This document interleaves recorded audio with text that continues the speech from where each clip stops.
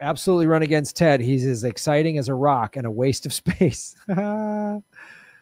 yeah, he's just it's one of those like gerrymandered blue districts, my district. They know the Democrats are going to win no matter what. So the Republicans run a paper tiger against him and he just wins. And uh, that's his last campaign was uh, Trump's bad. He offered nothing, did nothing. He's one of those politicians where you're just like, oh yeah, that guy's still around. Yeah. You know, like yeah. you're just like, oh yeah, he's still that guy's still oh, okay.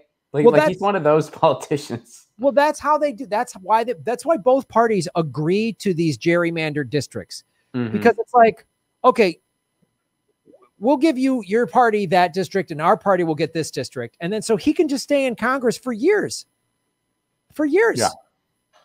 because uh, the Republicans, you know, and in the and in the red districts, the Democrats run a paper tiger and then there's some do nothing Republican does the same thing. Oh, the Democrats are going to take your guns and make you make the Bible illegal or whatever bullshit they run on.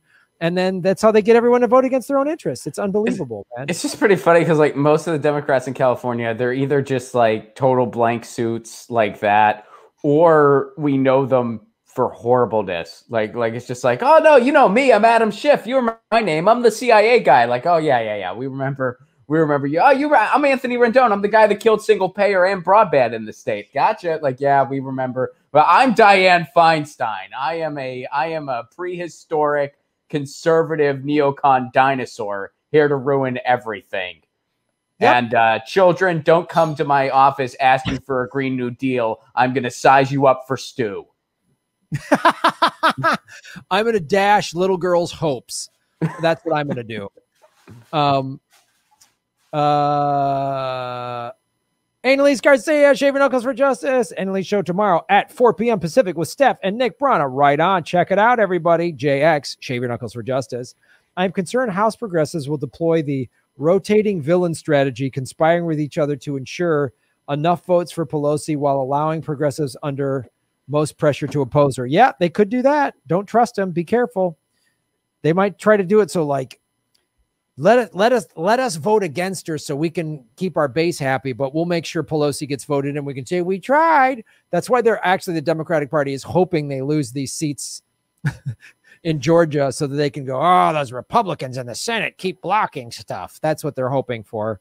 Um fan of fanfic shave your knuckles for justice. Anyone who argues against force to vote is someone who is lying when they say they want medicare for all. That's a simple fact black and white. Absolutely. Miss carter thank you so much for supporting the show. I appreciate everybody's donations.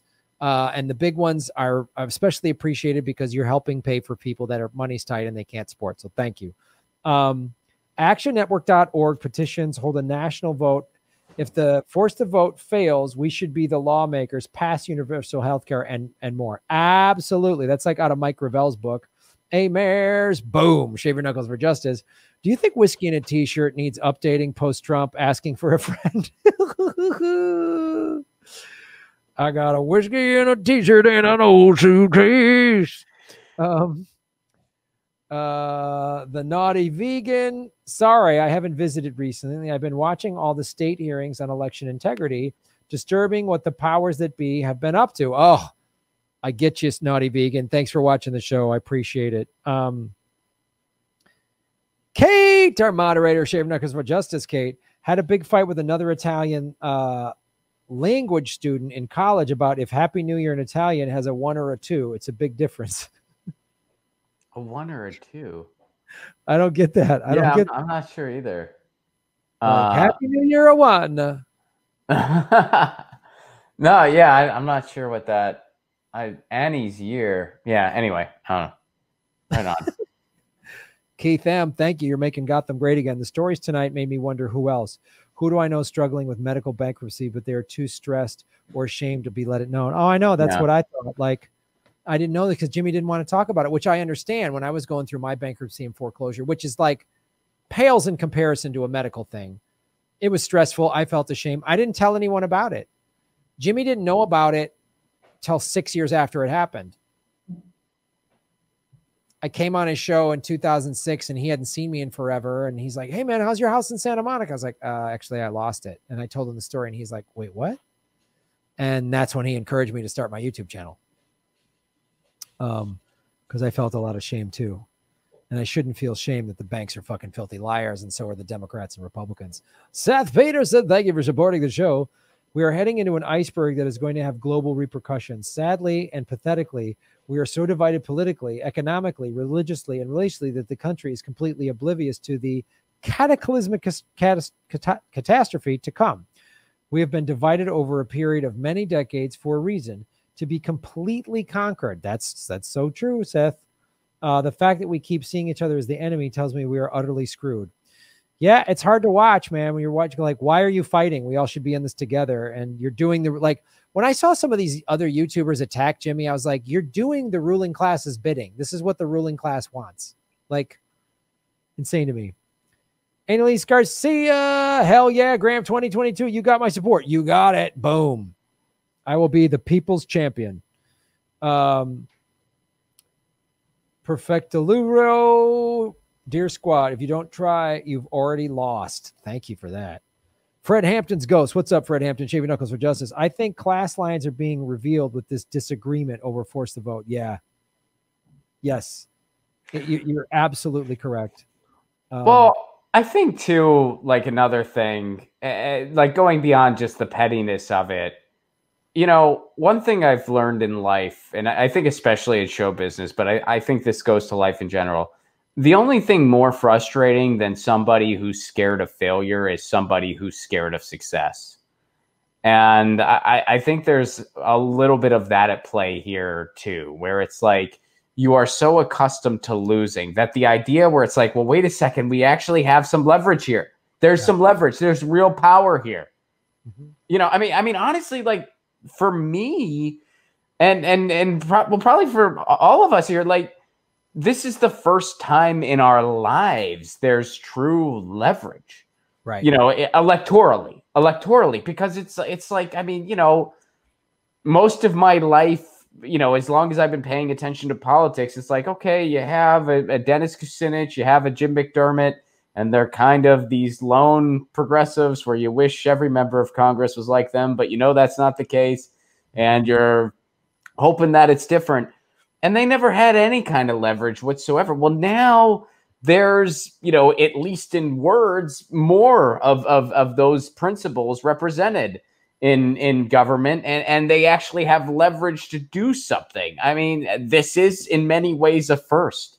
And i think there's uh, some people that are just hesitant hesitant to actually try to do something. And it's like we've got to. We've got to. We've been we've been you know laying back and and taking it and and just sitting down forever and it's not worked so now we got to push back a little bit because we have enough to push back with.